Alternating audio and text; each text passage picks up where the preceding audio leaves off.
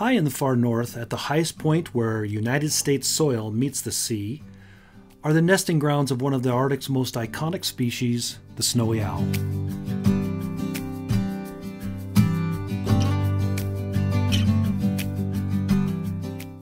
And it's here on this desolate landscape that Denver Holt of the Owl Research Institute has been collecting data for the past 27 years on the life history of these magnificent creatures.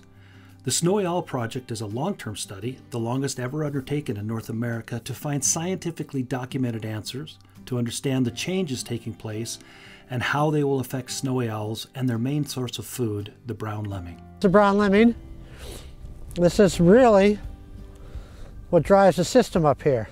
But this is what drives the whole snowy owl relationship is the brown lemming. And so like I said, their populations fluctuate widely. But a neat little animal, I'm gonna let them go here. But this is what drives, and when the lemmings are high, everything does well here. You know, the Jaegers do well, the foxes, the weasels, even the ducks and the shorebirds have better years because everything's eating lemmings and not preying on eggs and chicks as much. I read a lot of the literature before I came up.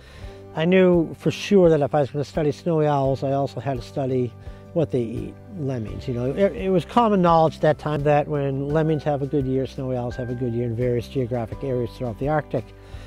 So I knew that, okay, if I'm going to study snowy owls and make this any kind of good study, then I would also have to study the population fluctuations of lemmings. Initially, the basic overall question was, okay, what's the relationship or the predator-prey relationship between snowy owls and lemmings?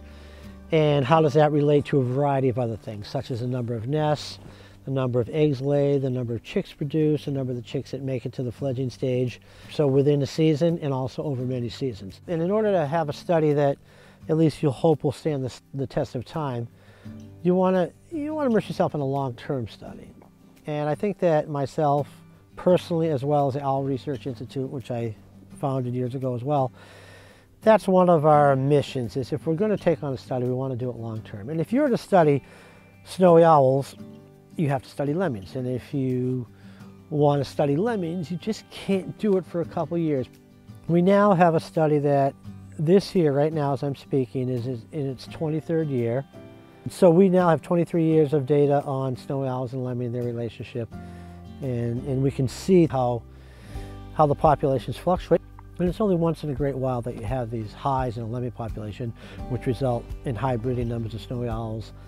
Another reason to emphasize the importance of long-term studies. You know, most studies in wildlife today just last a few seasons. You need to study these things for long periods of time. And, and so we could have a flat line almost for lemmings for three, four, five years, and all of a sudden, boom, it takes off. Then it's down, then it's up again, then it's down. And so you're not going to see that in you know one, two, three, four, five years. You have to look at that over time. The snowy owl is truly at the top of the list of beloved icons of the far north. Its charisma and regal nature bestow upon it the notoriety essential for grabbing the attention of all mankind. The Arctic is changing faster than any place on the planet. All the Arctic animals will benefit from the long term science and dedication the Owl Research Institute has poured into studying the life of this majestic bird. The Arctic and snowy owls need your support. Donate generously today. Support the Snowy Owl Study with the Owl Research Institute.